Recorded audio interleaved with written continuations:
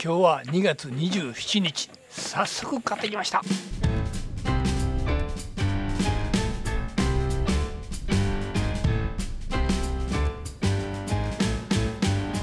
大津市内にある、えー、モンベルの直営店。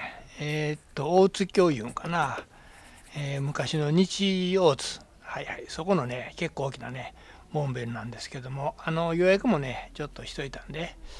慌ててはね行ってないんですけども、あの予約してた商品が入りましたよということで連絡が入ったんで。お待たせいたしました、はい、ありがとう。ありがとうございます。はいはいそんなんでね受け取りに行ってきました。まあ本当はねワクワクしてたんですけど。はいはい。はいそんなんでね、はい、今回買ってきたのがこれ。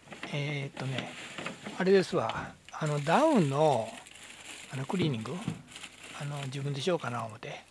それのね専用の何て言うんやろ。クリーニング液かな。それと撥水撥水スプレーみたいですね。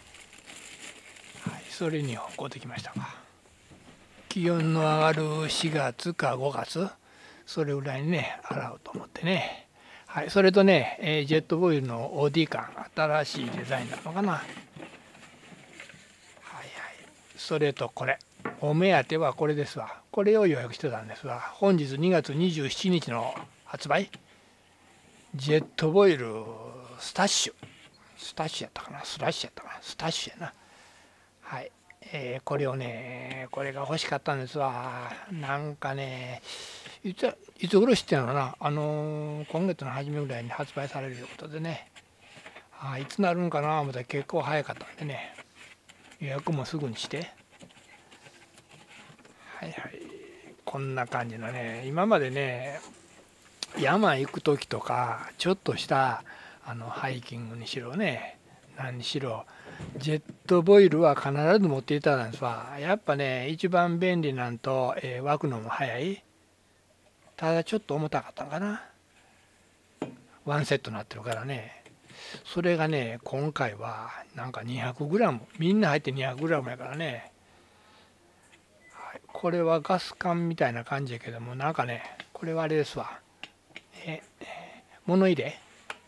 物入れかなんていうんやろ。はいはいふ蓋が開くからね。ちょっと柄的にはあんまり好きじゃないんだけどね。ほらねこんな感じで。はいはい。なんか物入れ。色塗ってしまうかな。なんやったら。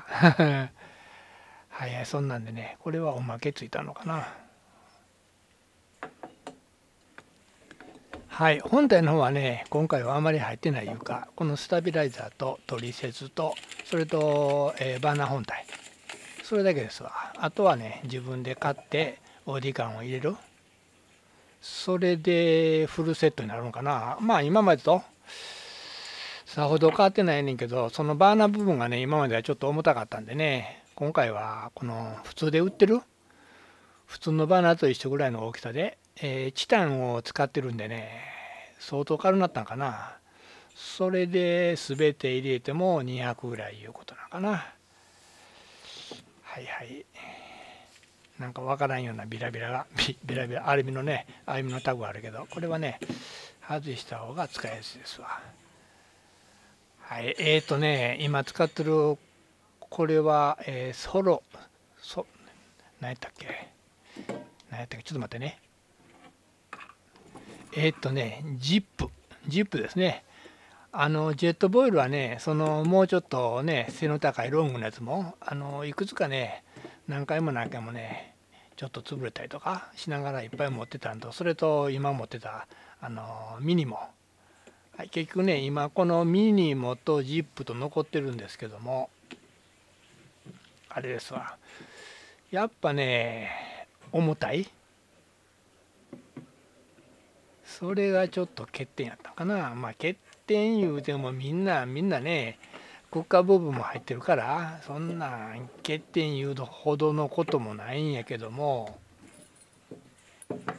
はいはいそんなんでねちょっと話がね元に戻るんやけどもあのじじいはね頭悪いから「あジェットボイル持ってんねん」言うてそれで話すますんやけどもあのジェットボイルのなんとかでなんとかはどうのこうのとかそんな難しい話してもジェットボイル持ってんねんって。で行さん入る太いやつやとかあの長いやつやとか。はいはいそんなんでねいつも話通してんねんけどもあのジャズ団が聴いててもあのジャズのあの2曲目のあそこからああなってこうなってあのどうのこうのあの時のセッションがどうのこうのって。そんなんねまあ知ってある人はすごいな思うんやけどもあの曲がええな。好きやね。言うぐらいのおっさんやからね。はい。おっさんちはじじいやからね。はいはい。そんなんでね自分が知らんことを棚にあげてはいはい。言い訳ばっかりしてますけども。はい。今回はねバーナーの点火装置イグナイター。はい。それがついていないのでね小さめのライターをはいクッカーの中にね収めとけへんかったらはい点火したらねこんな感じです。わちょっとねすり鉢状になってるんかな。しかしねあの以前の、え、ジェットボイルと違ってこれちょっと風に弱いんちゃうかな思って。以前のバーナー部分やったらちょっとねプラスチックのカバーみたいなのがねついてたんで直接風が当たるいうことがね比較的少なかったんでえー、っと風に弱いとかねそういうイメージは一つもなかったんですけども今回はねちょっと丸見えなんでねちょっと心配かな。はいはい。それでもねまああれですわじじいは DIY が得意なんでなんかねちょっと風貌でも作ったろうかな思って。はいその辺もねちょっとワクワクしてるんですけども。はいそれとねあの指定じゃないんで、えー、こういったことはえー、っと自己責任で絶対真似してほしくないんですけどもあのこれ150のあれ OD 感ですわ。それがねバーナー入れてでこのガス管入れてもねぴったり入るんですわ。あの2日ぐらいやったらね150、えー、110の OD 感やったら2つぐらい持っていけへんかったら心配やってんけども150あったらねちょうどええんちゃうかな。予備でいつもね110の1個持っていって結局2個持ってたんですけどもね。それとこの裏の部分。あのこの径がねあのミニモと同じなんでひょっとしたらこのプラスチック持っていく時だけはめ替えてこれに合うんちゃうんとか思ったけど飽きませんわ。なんかね爪が引っかかってきっちりはまらないいうかな。収まらないでね。もうちょっとね広かったら奥の方まで開いてね使えてんけどもはいこれは使いませんでした。はいはいそんなんでねちょっとお湯の方をね沸かしていきますね。はい多分ね今回、えー、このバーナー買ったんですけどももう人生で最後のバーナーになると思いますわ。もうこれ以上ねバーナーバーナーでねもう10個以上あるしね。はいこれが最後ちゃうかな。あのー、ずっと山用はねジェットボイルのジップとか持っていたんですけども今度が最後になるんちゃうかな。ザックも新調したし、えー、テントもね新調したしもうテントなんかね600グラムもないんちゃうかな。ほんでそれとシュラフも新調したし、えー、このジェットボイルもね今回新調したしね。はいはい。全て入れてもどうやろ。10キロ絶対切りそうですわ。もう年やしね重たい荷物持ってねいろいろ行くの嫌やしちょっとでもねなんか軽くしたいんで、はい、全て新調してね8キロぐらいになったら最高なんやけどなってね思いながら UL 登壇に、はい、憧れているジジイとババアであります。はい、まあね、今回少しだけけど触ってみて期待通りの商品でした。それとね、ちょっと気がついたこと、あの、この部分、ここ、ここ、ここにちょっぽりあるでしょ。あのー、要クッカーのこの折りたたみのグリップ部分、ここね、ここをこう折りたたむ時にこう、ここ、これはね、ストッパーついてるんでね、ここが外れることはないんですわ。はいはい。こういうやつね。ここ。これね。クックってしたらあの、ここが外れてああめんどくさい。ああめんどくさい。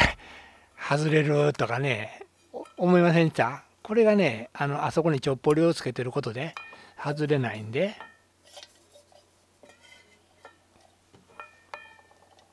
これねこの部分ちょっと考えたな思って。まあじじいの持ってるのがねついてなかったから初めて見たんでねおおすごいな思ってるだけで。それとあのこれ。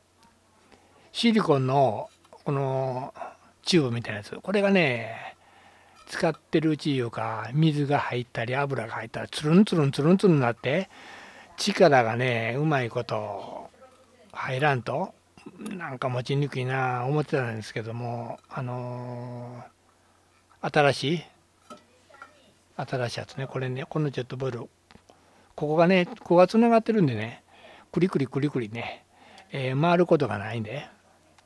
つかみやすくなったなあいうイメージありますわ。はいこういった部分もね少しずつようなってるんちゃうかな。いかがでしたか？ジェットボイルスタッシュを買ってみた。参考になりました？次回もよろしく。インスタの方もやっております。ジジイアンダーバー70ジジイは71歳になりました。おおきにおやすみ。